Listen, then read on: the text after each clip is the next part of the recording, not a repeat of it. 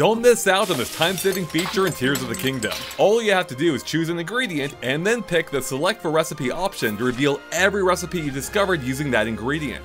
Select one and you'll even reveal if you have all the necessary ingredients by highlighting any that you're missing. And that's not all, because if you press the A button one more time while on a recipe, it'll automatically put all those ingredients right into Link's hands, so we can then dump them directly into a cooking pot. And presto! A home-cooked meal without having to remember anything at all. Besides this video, of course. And don't forget they can access your full cookbook for reference by pressing the X button on the food screen. So sit back, relax, and